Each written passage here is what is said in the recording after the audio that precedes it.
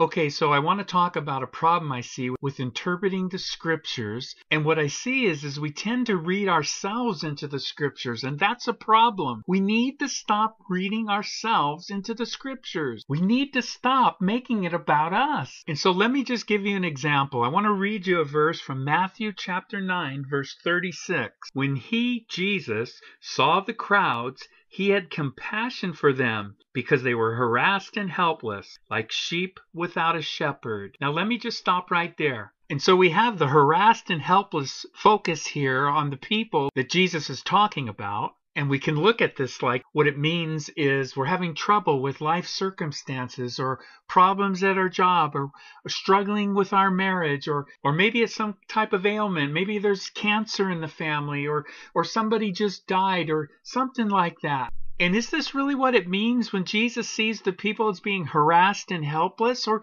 is there some further meaning? And it's not to minimize those things that our Lord is concerned about those issues, but it's beyond that in this text. And I think we can miss the higher meaning because we're so focused in on ourselves. And so the meaning of being harassed and helpless, these sheep without a shepherd that Jesus sees and has compassion on, it's the law that harasses us, the law of God that's against us that we can't keep. We are helpless to keep God's law, the Ten Commandments. This is the higher meaning of the text, the higher meaning of the text. And Jesus came to fulfill that law in our place. This is the compassion that He has for us. We are idolaters at heart. That's why we're so focused in on ourselves. We break the first commandment constantly. You shall have no other gods before me. We are always putting something else before God. And we break the rest of the commandments. We are harassed by the law. We are helpless to keep God's law. And that's the compassion that Christ has had on us.